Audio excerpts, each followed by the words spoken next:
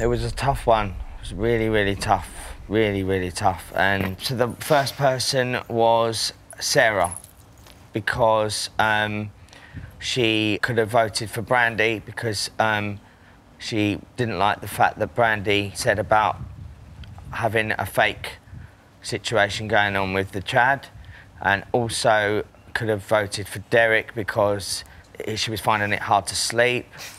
She could have voted for me because she said I was playing some kind of game. I'm sorry, Sarah. It's all right.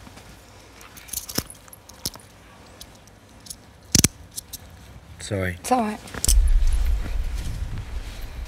The second suspect that we believe to be the killer is Sandy because yesterday you kind of flew off the handle more than I think you ever would.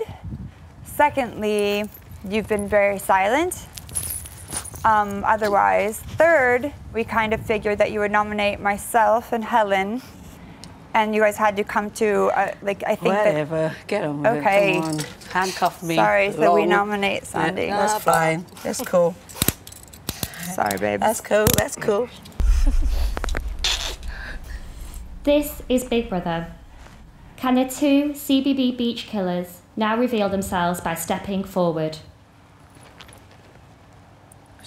Ah, it's them two. Ah, it was Sam. It was Sam. Yeah. Sarah and Sam, you committed the perfect crime, therefore successfully passed your secret killer mission. This means that the housemates facing eviction this week are Paul, Brandi, Helen, and Derek. Housemates, the criminal case is now closed. Subscribe for more Big Brother videos.